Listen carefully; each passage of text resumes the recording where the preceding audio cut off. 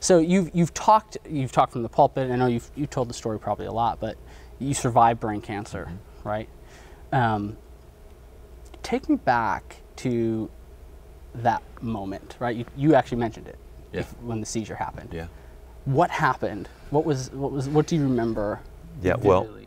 You know, most of what I remember about the actual seizure itself and that whole day is told to me as I don't have a, a lot of memory. So, what I do remember is that the plan was for the day um, to go to my in law's house. So, they live a mile from us.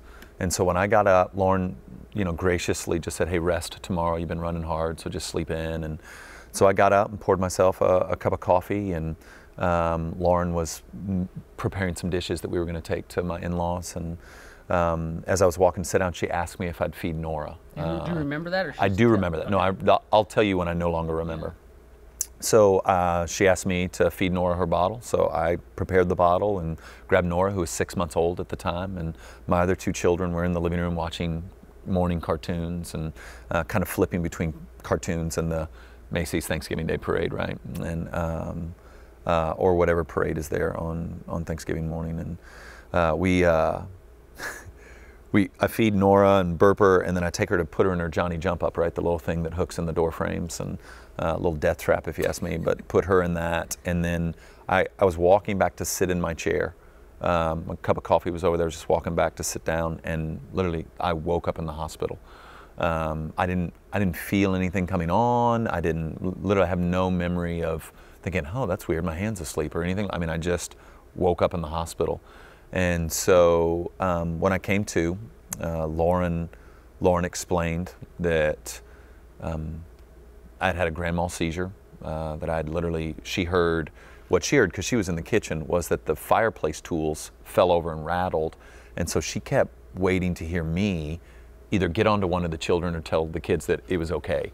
And she, she didn't hear anything. And, and my oldest, Audrey, um, you know, called for, hey, mom. And so when Lauren came in, she said, I turned the corner and I was on the floor seizing. And so she turned me on the side, called 911. Um, and then I, I apparently started coming back into my senses after the paramedics got there and had put me on the gurney.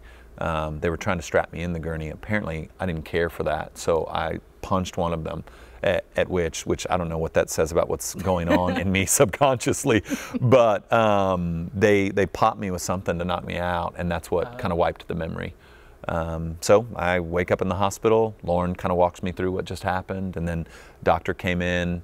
I, I don't remember the CT scan or the MRI. They had already done both of those before I kind of came to, and the emergency room doctor kind of sc- scooted his stool right up next to my uh, bed and just said, "Hey, we found a, a mass in your right frontal lobe."